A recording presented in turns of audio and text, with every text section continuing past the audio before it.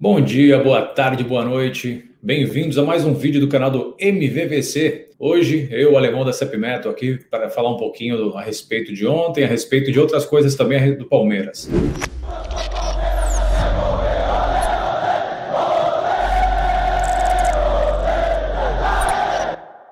Ninguém está contente com o resultado de ontem, óbvio.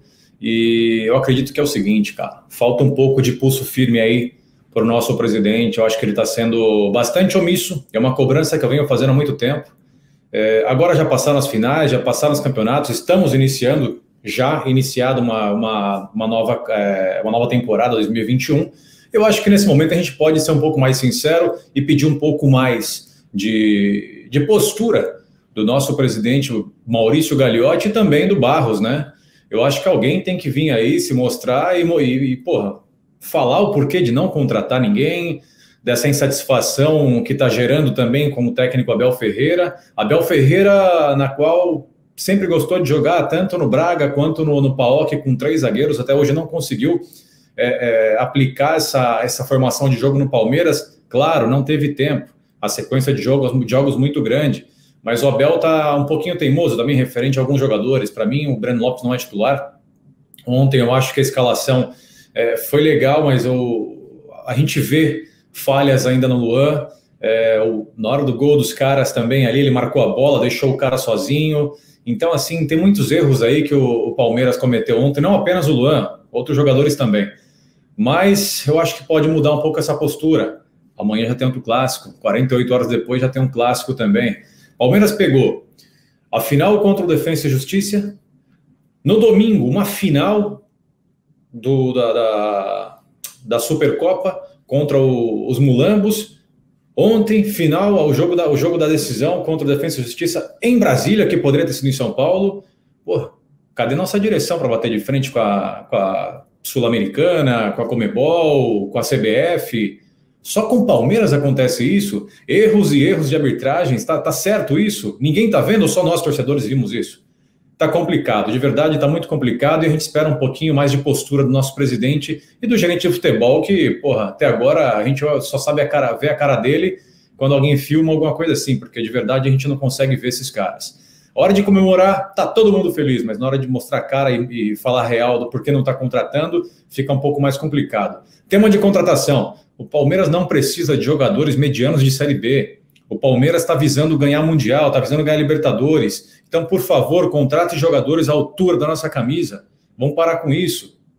O Abel passou um planejamento que ele queria para esse ano. Até agora a gente não fez nada. O Palmeiras não fez nada. Talvez esteja correndo agora com Castellanos para que possa inscrever ele, porque daqui dois dias já fecha a janela também da Libertadores e o Palmeiras quer contar com ele na fase de grupos. Então, de verdade, falta um pouco mais de postura e pulso firme para o nosso presidente e para o Anderson Barros também, que Tá arrumando a casa? Ok, mas por favor, né? Vamos contratar porque tá ficando complicado. E a gente vê a irritação no técnico português também, né, meu? O Portuga tá irritado com isso. É notório, dá para perceber isso aí. O, outra coisa, o, o jogo de ontem não agrada. Amanhã vai ter outro jogo. Como vai ser o clima? Como vai entrar esses jogadores? Qual será a escalação de amanhã? Luiz Adriano, por favor, você não pode errar pênalti. Não dá. O Palmeiras, nas últimas três disputas de, de penalidades, o Palmeiras perdeu as três. E das últimas dez, o Palmeiras ganhou apenas duas em penalidades: contra o Santos e contra o Corinthians. O resto tem uma lista de dez últimos jogos disputados por cobrança de pênalti. O Palmeiras perdeu oito. Tá errado. Precisa treinar. E acima disso, o Palmeiras tem que treinar na conclusão também, porque, numa boa, são jogos que não precisam ir para a cobrança de penalidades. O Palmeiras pode muito bem finalizar melhor aí, tem que treinar. Ah, não dá tempo, ok, mas porra, qual jogador que fica depois do treino lá? Nenhum, acho que acredito que nenhum. A gente não vê mais o comprometimento da rapaziada. Os caras ficam 10 horas fazendo tatuagem, mas não ficam uma hora a mais depois do treino para poder treinar a finalização. O Palmeiras precisa melhorar isso. Os jogadores precisam melhorar isso. E falta alguém ali para cobrar esses jogadores. Não adianta o, o Galhote contratar pessoas para ser seu testa de ferro. Nós precisamos de pessoas de verdade que cobrem jogadores e que vão ali na, na, na, no campo e a gente vê que o negócio está sendo representado. Pô, o Rony ontem representou, muita gente está dizendo que sim, eu também acho que sim. Mas, cara, falta um pouquinho mais de técnica. Falta finalizar. Teve lances ali que, poxa, podia ter tocado. O Verão teve bolas ali que podia ter tocado, sabe? Então, assim, acaba, acaba gerando um pouco de desconforto com a gente também e desconfiança. Como será essa temporada, sabendo que a, carga de jogos será a mesma que nós tivemos em 2020? Então, na boa, Maurício Gagliotti, está na hora de você se pronunciar aí, dar um pouco de satisfação e parar de buscar jogadores medianos para o Palmeiras. O Palmeiras não precisa de jogadores medianos. O Palmeiras precisa de jogadores que coloca a bola embaixo do braço e a definir uma partida. Precisa de jogadores experientes, onde não se escondam em, em, em cobranças de pênalti. O Portuga, por favor, vamos parar também de colocar quatro laterais no jogo. Isso não está funcionando. Faz o seu esquema de jogo, não tenha vergonha de colocar o seu jogo. Se você joga com três zagueiros, como você jogava em Portugal, como jogava lá na Grécia, faça isso. Vamos ver se vai dar resultado. Talvez fortaleça um pouco mais a linha de defesa do Palmeiras. O Gomes não pode jogar sozinho. Não dá para o cara jogar sozinho. É muita carga para um cara só. E para o Everton também, que está salvando o Palmeiras a cada jogo. Em algum momento eles falham. E não dá para ficar cobrando os caras que estão salvando sempre, na boa. Então, por favor, vamos prestar atenção nisso. O Palmeiras não pode ficar é, indo atrás de jogadores medianos. Esquece, ah, o Ademir do América, não sei quem do, do, do, do Asa, não sei das quantas. Porra, vamos parar com isso. Se o Palmeiras quiser chegar em decisões e ganhar, precisa de jogadores que estão acostumados com decisões, não jogadores fracos. Porra, tá, a gente está passando vergonha à toa e sem necessidade. Palmeiras, a temporada 2020 foi maravilhosa. Maravilhosa. Parabéns. Estamos todos felizes pelo resultado 2020, que terminou ontem. O ciclo 2020 terminou ontem. Essa temporada 2021 acaba de começar para gente. Tudo que tinha para lá acabou. Então, é planejamento, é pegar aquilo que foi entregue no final do ano, quando o Abel chegou, praticamente um mês depois que ele chegou, ele fez um planejamento com a sua comissão técnica do que ele espera para 2021. Coloca isso em prática. Dê material para que ele possa trabalhar.